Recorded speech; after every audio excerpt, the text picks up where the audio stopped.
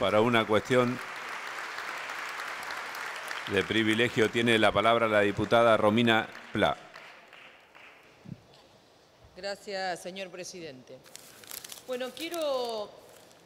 intervenir y he pedido este privilegio por un tema que entiendo está tomando ya ribetes insostenibles y esta Cámara tiene que tomar de inmediato posición frente a esto. Como todos sabemos y ayer se destacó muchas veces, uno de los debates de este año ha sido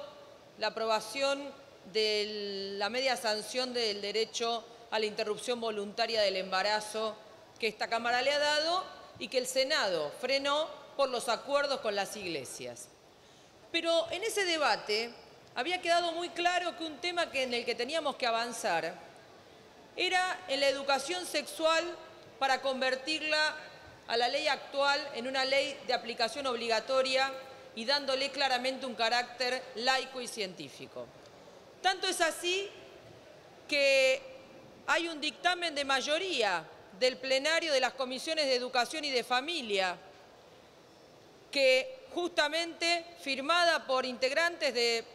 creo que la totalidad de los bloques, ha planteado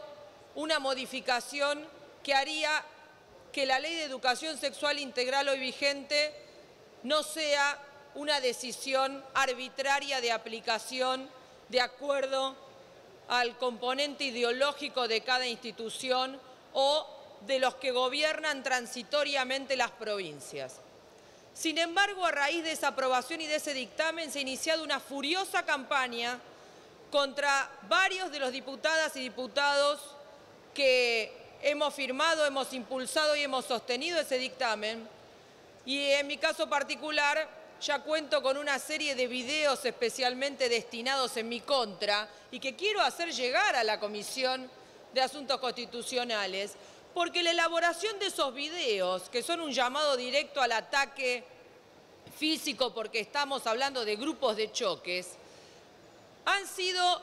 en función de filmaciones que han obtenido los sectores que se oponen con un ingreso irrestricto a la, reunión de comisión que incluso integró frenar el desarrollo de ese plenario de comisiones y luego estos mismos sectores han obtenido autorización, se nota que de las autoridades de la Cámara, para ingresar en forma completamente libre a, por ejemplo, una audiencia pública que hicimos también con integrantes de varios bloques para defender que se trate en forma inmediata este proyecto. Quiero decir que esa vía libre, ese ingreso libre a las comisiones, se contrasta con los numerosos trámites que tenemos que hacer cada vez que queremos traer algún sector de trabajadores en conflicto a este recinto, pero ese no sería el problema principal. El problema principal es que esos mismos grupos de choque que se han metido acá en el Congreso para tratar de evitar que discutamos una cuestión vital, y lo vimos ayer cuando abordamos el tema de Lucía y los femicidios, y lo vemos cada vez que en una escuela se trata de avanzar en los contenidos de la educación sexual y las y los docentes son atacados, son perseguidos, son amenazados por llevar adelante una tarea absolutamente elemental. Esos mismos grupos de choque, por ejemplo, son, y los tenemos filmados, los mismos que ingresaron acá en una audiencia, son el mismo grupo que se metió en una escuela de La Plata, teóricamente diciendo que eran padres, cuando en realidad son parte de organizaciones financiadas por distintos grupos de las iglesias evangélicas y también de la Iglesia Católica para bloquear un tema elemental que es el acceso a la educación sexual integral de carácter obligatorio, laico y científico.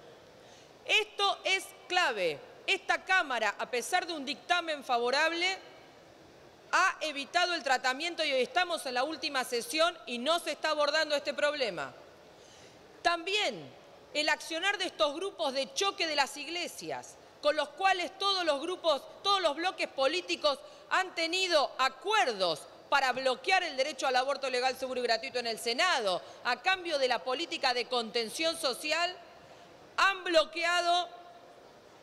el tratamiento del cupo laboral trans. Y esto es muy serio, porque mientras tanto todos estos grupos instigan los crímenes de odio y el accionar de estos grupos contrarios a la educación sexual integral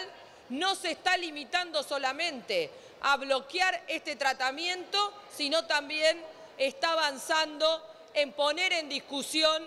la ley de identidad de género, por lo tanto en alimentar los crímenes de odio, los travesticidios y el ataque a las mujeres y a todas las disidencias sexuales. Ayer la movilización reclamando justicia por Lucía y reclamando la destitución inmediata de los jueces de Mar del Plata que aprobaron ese fallo aberrante fue multitudinaria aquí en Buenos Aires, pero también fue multitudinaria en todo el país. No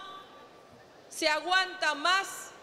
el sostenimiento de esta política de ataque a las mujeres, a las mujeres trabajadoras, a la juventud, por parte de los sectores clericales,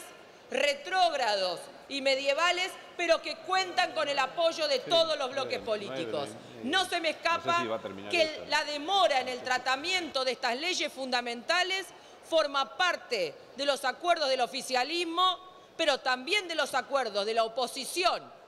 empezando por el kirchnerismo, con los bloques y con la Iglesia para convertir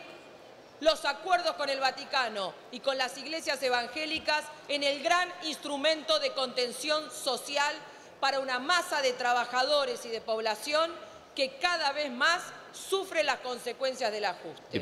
Por eso considero que este tema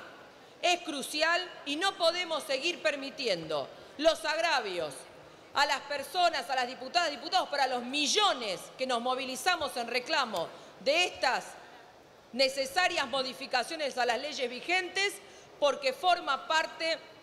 de un reclamo masivo. Este Congreso se tiene que poner en esa sintonía y si no, recibirá cada vez más el repudio de la población que reclama por estos derechos. Muchas gracias. Gracias, señora diputada.